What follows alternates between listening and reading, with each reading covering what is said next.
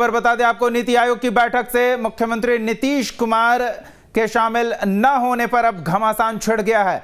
BJP मुख्यमंत्री नीतीश कुमार पर चौतरफा हमलावर है।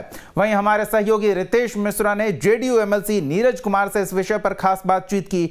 आइए सुनाते हैं आपको। सर नीति आयोग की बैठक जहाँ पर डेवलपमेंट के सारे इश्यूज़ होते हैं वहाँ पर आखिर आपको क्या परहेज है? कि नीति आयोग की बैठक में राज्य के मुख्यमंत्री ही रहे, यह कोई परिपाटी नहीं है।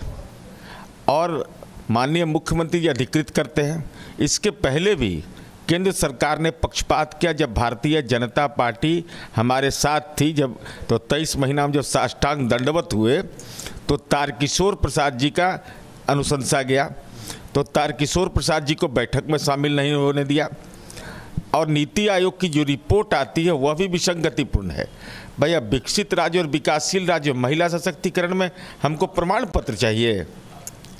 महिला सशक्तिकरण में तो प्रमाण पत्र नहीं चाहिए। पहले तो बात आ रही थी कि वित्त मंत्री जो हैं वो भी जा सकते हैं लेकिन अब ल, कोई नहीं जा रहे हैं डिप्टी सीएम भी नहीं जा रहे हैं। तो नहीं लग रहा है कि बिहार का जो विकास है जहाँ पर उचित फोरम पर रखना था वो सारी चीज़ें राजनीति की भेंट चढ़ रही हैं? नहीं नहीं। देखिए राज्य के मुख्यमंत्री को क्या यह अधिकार प्राप्त नहीं है कि वो अधिकृत कर सकते हैं? भाई, ये कौन सी परिपाटी है? ये कौन सी परिपाटी है? भाई, मंत्रिमंडल सामूहिक रूप से प्रतिनिधित्व करता है। तो अगर वह मंत्रिमंडल के कोई सदस्य माननीय सदस्य वहाँ जाकर के नीति आयोग में अपनी बात कहें तो इसका इसका ये बिहार का रिप्रेजेंटेशन नहीं होगा। आखिर क्या मतलब है? तो इनको तो करना कुछ नहीं है।